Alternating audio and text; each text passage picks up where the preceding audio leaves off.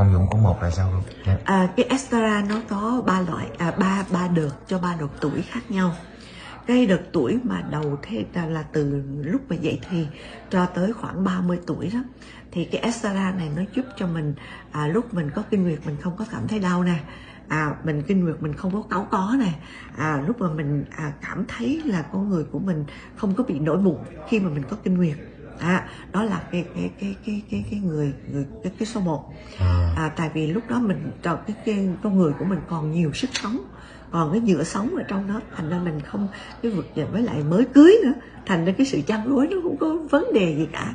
Nhưng mà bắt đầu mình tới cái tuổi mà lên lên một chút xíu có chồng có con rồi mình bận rộn túi bụi tắt bằng là cái khoảng mà 30 tuổi ngoài đó là lúc đó là cái nội tiết tố của mình nó đi xuống rất là nhiều thì khi mà đi xuống như vậy thì mình bắt đầu có cái triệu chứng người ta gọi là lãnh cảm.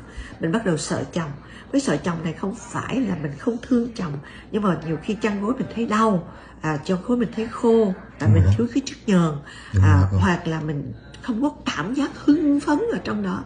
Thì ờ, mặc dù mình cũng còn có kinh nguyệt nhưng mà cái đó thì Estara 2 này nó giúp cho mình nó không có thêm cái chất nhờn à, giúp cho mình cảm thấy là nhẹ nhàng à, vui vẻ hưng phấn đó là cái Estara 2 và cái Estara 3 là tiếp tục khi mà mình mất kinh rồi thì mình lại càng khô hơn nữa. Đúng không? Nó càng khô hơn nữa. Thì cái ba này nó lại double dose, nó giúp nó mạnh hơn. Đó có thể giúp người phụ nữ như Hà đó Hà vẫn uống mỗi ngày à, một viên đơn giản thôi. Một ngày chỉ viên mỗi ngày chỉ có một viên. Trong này á, thì khi đang trong một ngày hai viên.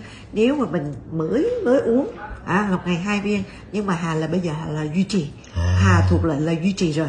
Cái mình bổ sung xong rồi mình duy trì. Mà cái hay á, của cái anh chàng Estara này là tại vì người ta nói là khi mà mình có dư nhiều estrogen quá estrogen là nội tiết tố nữ mình sẽ thì bị ung thư vú. Wow. Ung hệt và bởi vậy nhiều bác sĩ họ nói ồ à, khi mà gần mãn kinh rồi bạn có muốn uống thêm estrogen không? Để mà mình mình khi có kinh nguyệt. Khi có kinh nguyệt thì nó giảm đi cái xác suất ung thư vú phải không? Thì bây giờ thằng S nhưng mà cái thằng uh, Estera của mình có cái liều estrogen một cách thiên nhiên. À không có phải là kích thích tố nữa cho nên khi mình uống dài dài dài được, còn mà mình đi theo bác sĩ mà mình uống estrogen của bác sĩ hoặc là chích một tháng, chích một lần á, thì mình vẫn có cái hưng phấn, mình cũng có nhựa sống. Nhưng mà lâu ngày, cái thuốc là trở thành thuốc độc. Nó sẽ dư ra, bác sĩ phải thử máu, rồi mình nói dư hay không thì nó sẽ co ra là cái vấn đề là ung thư tử cung hoặc là ung thư vú. Đó là cái mà phụ nữ rất là hay có khi mà dư chất estrogen estrogen đúng không? À, là nội tiết tố nữ